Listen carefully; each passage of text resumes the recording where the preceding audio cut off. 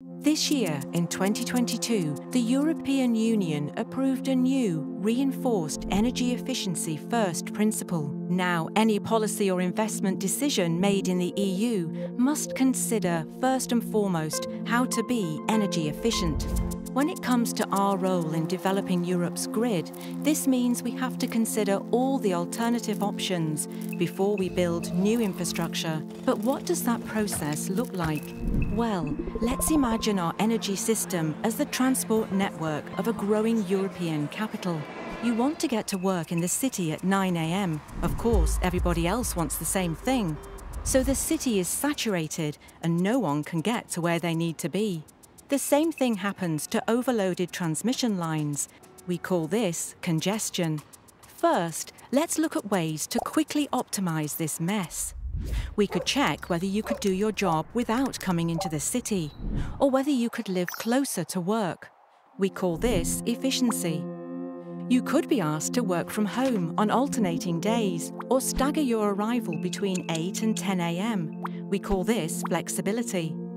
The city could give you a bonus if you cycle, sell your car, or take public transport, and tax you if you use your car at peak times.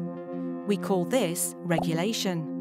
We could make the system smarter by adding smart traffic lights or improving coordination between different types of public transport by promoting car sharing or creating cycle paths next to existing roads. We call this innovation. These are all great improvements, but they won't be enough on their own. The demand on the city is too big. So when optimization isn't enough, we look at building new infrastructure, like new subway routes, aerial highways, or cable cars. It'll take time and money, but in the long run, it'll be the only way to keep the ever growing population moving smoothly around the city. The same is true of our energy system.